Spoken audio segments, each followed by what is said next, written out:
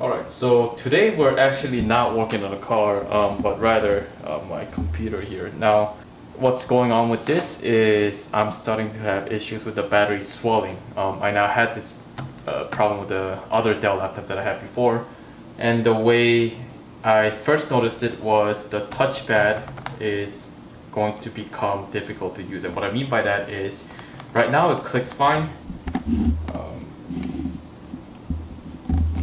You know, I have no problems pressing it in. It, but what's gonna happen when I turn on the computer or, and when I start using it is uh, the battery is going to start swelling uh, once it gets up to temperature and then it's going to start to bulge this lip out right here. So, and apparently this seems to be a pretty common problem among Dell computers. So what I thought I'd do is replace the battery before it gets any worse and might as well make a video about it. Now, as I let this warm up, I'll show you the battery. So this is the battery that I got. I just got it on Amazon. Um, I don't know who makes it. It doesn't really matter. But I did not get an OEM one, even though they are, they are similarly priced. Um, again, because the OEM batteries tend to have a problem with this swelling. Um, this one is don't know who made it, but you can you can just basically go on Amazon or eBay and look for this right here. So the, you see the battery type here, it says 1F22N. So just Google search that and you'll find the one that you need. Alright, so now that I let this computer run for a little bit longer, um, you can start to see what's the problem here. So I guess if you zoom in, and I'll try my best to show it, is this touchpad is starting to bow out in the center here. And also, see, and you can see this is where it should be, and this is kind of where it is now. Also, the effort that it takes to press this is going to get increasingly more difficult. Now, at this point, it's still not bad, but sometimes when I was using this computer, if I use it long enough, um, basically I, I can't force myself to click this. So anyway, that's the kind of the telltale sign that you might be having the same problem. Good thing is, the batteries in these things are really easy to replace. Alright, so first things first, obviously make sure you turn your computer off, so I just did that. And you're going to be removing some screws on the back side of this. Now there are three, four, five, six, seven, eight, nine on the bottom. And there are two here as well. One here and one here. And for this, you just need a small enough Phillips. And Harbor Freight just sells a really nice precision screwdriver set for cheap. But um, I don't have that, so I'm going. I have this and this socket just fits in here just to give me a little more leverage. So it's not ideal, but it should work. So again, with anything with screws, you just want to put pressure um, on the top of this before you start turning, just to minimize the risk of cross-threading. And place your screws in a place where you're not going to lose it. And these are all going to be the same size because I've had this off recently just to see how easy it will be.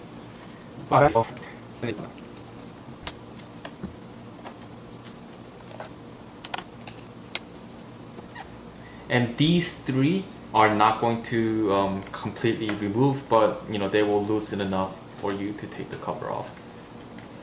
So these are just gonna start spinning, and that that means you um, it's enough for you to move on to the next one.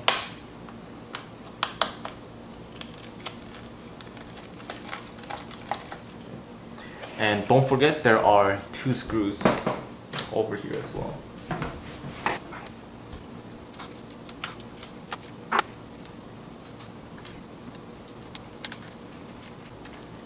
Alright, so now this cover is just going to be held down by a couple of clips and um, it, basically you're just going to have to overcome those and it should lift the rest of the way up. So I'm just going to go a little bit at a time from this corner. just get under it. Yeah.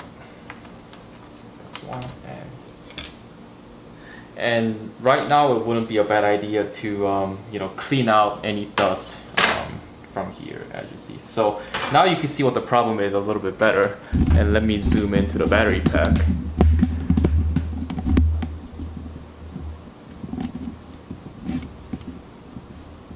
is that you can see especially along here or the battery pack maybe at an angle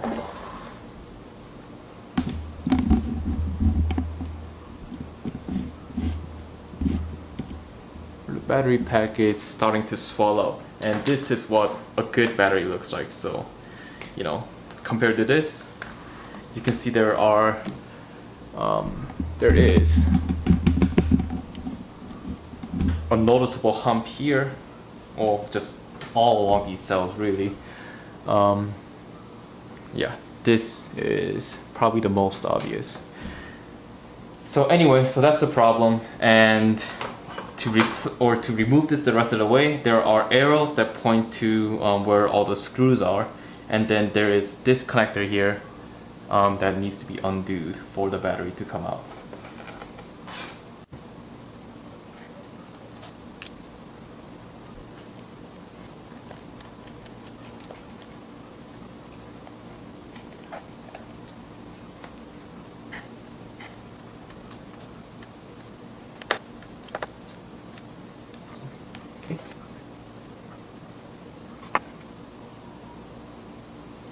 So from looking at this,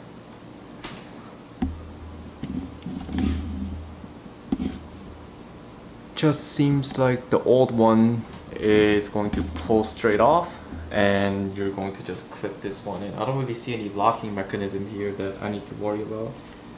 So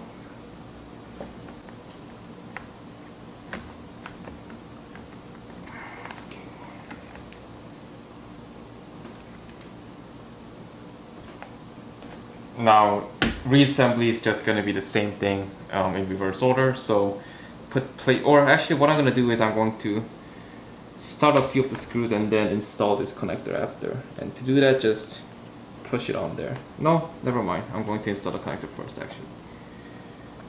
So, and the connector, at least in the old one, yeah. So it lifts off vertically. So don't try and tug on it like I did try and like I did first. Instead, pull up. And I guess that's what this um, dangle cable is. So whenever you try and do it, use a strap and pull up this way vertically. So.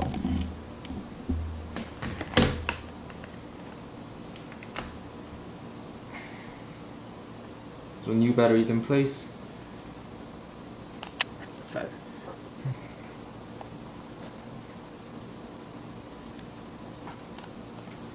And when whenever you go and you know put these screws back in just you know um, finger tight is good. No need to put a lot of force behind it.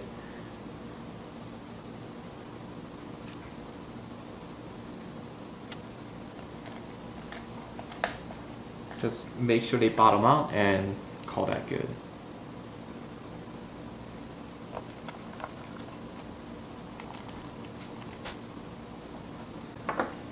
Now um, just pop the cover back on. It'll clip on and again there are uh,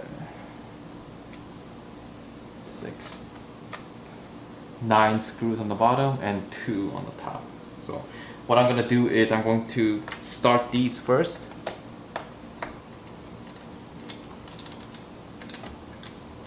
Again, just bottom them out.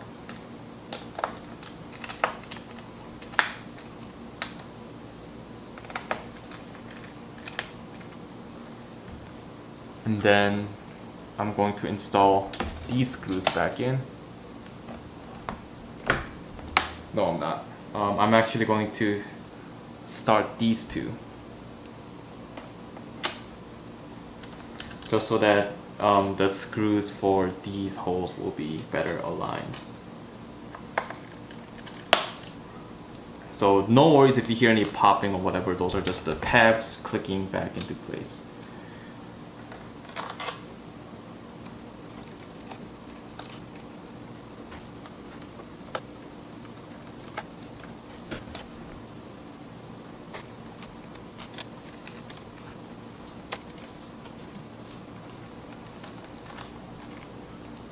And just like that you are done. Now the battery manufacturer um, suggests to um, when you first install this to fully charge it and then fully discharge it um, before you know starting your regular charge cycle. So i I'll just do that. And you should be good to go. Now you can notice back here that the touchpad is nice and easy to use again. And yep that'll do it. Good luck